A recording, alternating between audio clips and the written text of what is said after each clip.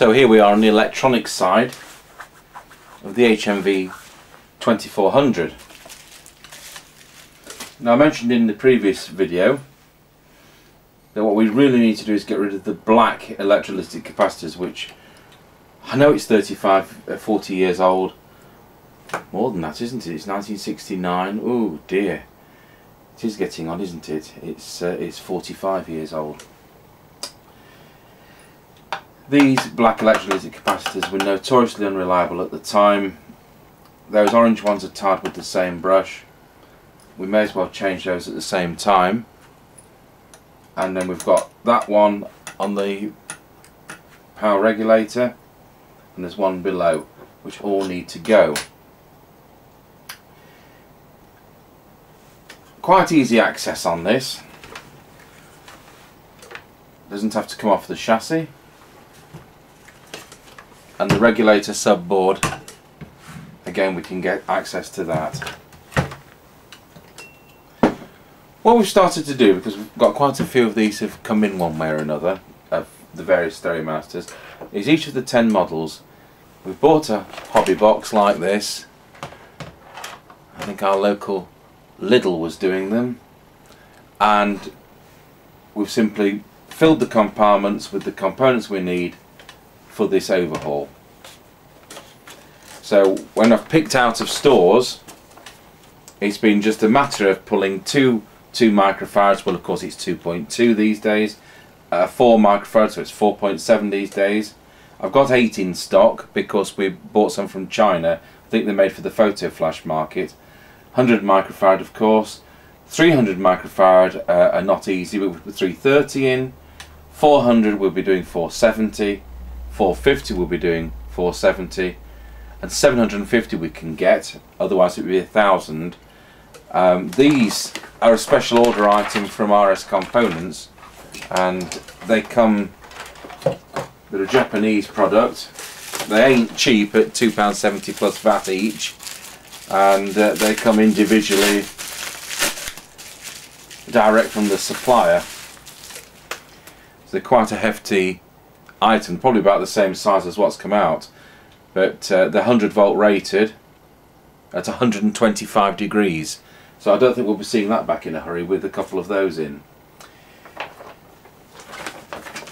So we've got the ERT service sheet. Oh, it's got a bit dog-eared at the corner, which is the service chart 1707 for the HMV Stereomaster gramophone, as it says. And of course on the layout we can see there which capacitors which we're changing. For example, we've got capacitor 22 there, and we know the capacitor 22 is that one, 450 microfarads. So I've done the homework. It should be a doddle, and there's a circuit diagram as well for those of you who uh, think you need to get a copy of this. I think I uploaded it as a free download on Scribd, scribd.com, um, for people who want to to do that. So what I'm going to do is desolder. We haven't got Mr. Chippy to do this uh, today, so I'm going to have to do it myself. And uh, we'll desolder the components and we'll go back to record and we'll see what it looks like with some considerably smaller components that were in before. Right, well you can see it's all now um, done. This is uh, 20 minutes has elapsed. By the way, we're testing a camcorder here, which I bought on eBay for £4.99. And um, as a, as a non-worker, and uh, I just pressed this reset button and it seems to be working. So that was a good £4.99 plus postage, wasn't it? It's one of these which does it to a DVD. We, in this in the audio workshop here, we haven't got a kind of permanent um, camera setup like we have in the RF workshop, where we've got overhead cameras and mixer and digital video recorder and all that kind of malarkey. Right, so what, as I say, we've changed all these capacitors. Hopefully you can see some nice shiny new capacitors in and um, there's a bundle there and the one which came out of the power regulator there which is 100 microfarads you will see is leaking.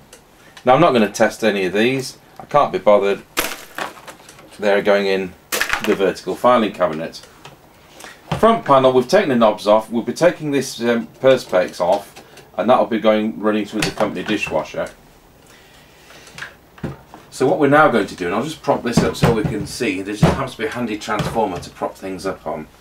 We've got this connected to the bench speakers. Under this bench are a pair of 400 watt disco speakers.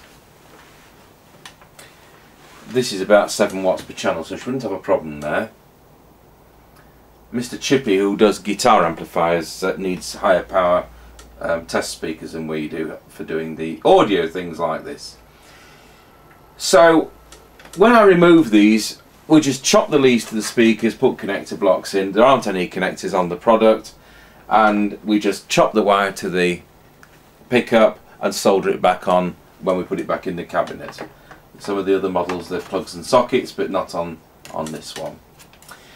Right, we'll switch it on. Good. Might hear a bit of a hum and a hiss. Sounds about as it should do. First thing I'm going to check is that we've got 24 volts off the stabilised power supply board here. If I put my little meter there in the units so we can see it I don't know where we picked the earth up from. We'll try chassis. So that should be the, the emitter of transistor 1 which is the output transistor. We've got 24.5 we don't want to overrun it.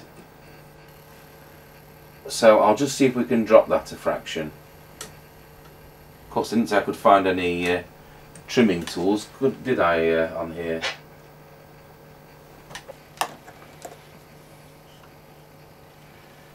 So having found an insulated screwdriver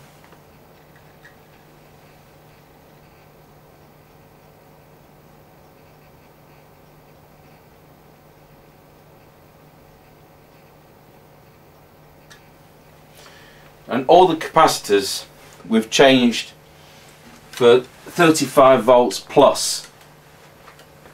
So the lowest voltage one was 9 volts the highest voltage capacitor was 30 volts which is that one I've just um, done the 24 volt regulator on. That's been replaced with 50 volts and some of these others are 100 volt rated. So we're well on top of the job and the temperature has been upped as well. Uh, some of these are 105 degrees, and those big ones are 125 degrees. The chassis runs cool anyway. So there we are, that's set up. Now on this bench there should be a handheld oscillator.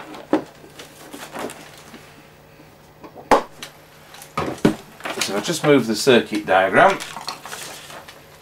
We have a handheld oscillator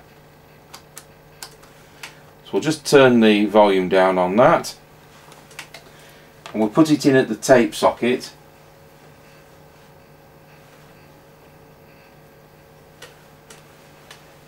So I'll change the mode with the seeing as the knobs are off. So the first one is gram tape and the mono three and a half. So I've hopefully switched it to the auxiliary input which is labelled as tape. I've switched this to mono so it should come through both channels. I'll tell you what, we'll switch it to stereo.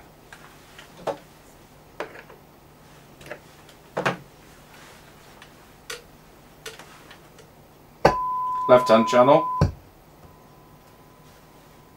Right hand channel very quiet. Where's the balance control?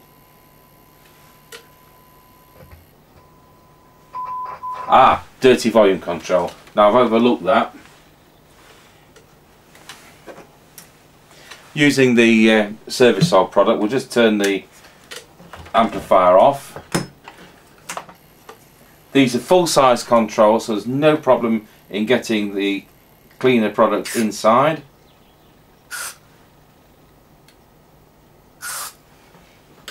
The volume controls have a centre tapping and that is because on this type of product the centre tapping goes to a circuit so it, changes the, uh, the, the tone setup. So if you've got it uh, let's supposing you've got um, treble and bass at zero as you're probably aware when it's quieter the, the tonal balance changes. So some amplifiers have a loudness control but it's automatic on these and it's done from the centre tapping of the volume control so they're centre tapped volume controls, which is quite unusual.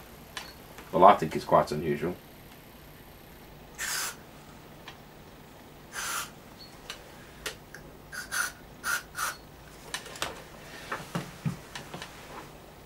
So we'll just get that uh, in there. And we'll try again. Now I should have done that when I did the capacitors. I was uh, so bothered in uh, in talking into the camera. Left hand channel, right hand channel. Good.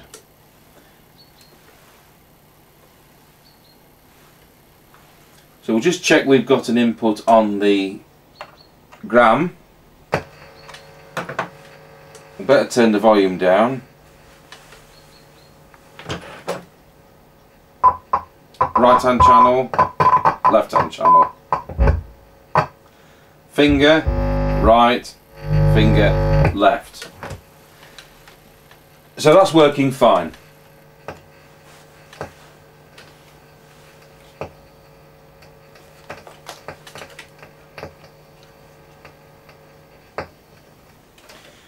So turn that off.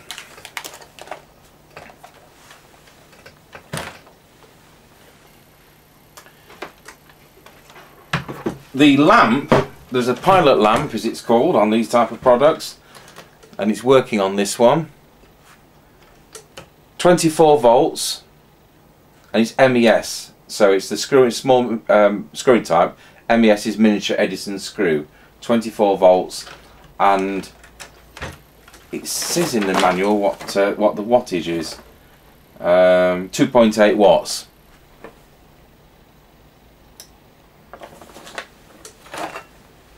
So when we've cleaned the front panel, we, the next thing we've got to do is to strip down the cabinet. That'll be going through our church pipe organ restoration workshop and it will be re-French polished uh, with shellac uh, clear polish. So that's on order and that will be our next uh, thing. So you saw in the previous video what a state it had been in, some fool had varnished it. That's reacted with the uh, French polish underneath. So we'll, we'll get that all sanded down, but of course very carefully because it's only veneered. So we are, fully overhauled, ready to do another 40 years service, and um, jobs are good, and as they say in Yorkshire, where I'm from. So thanks for watching, and the next video on this will be regarding the cabinet. Thanks for watching.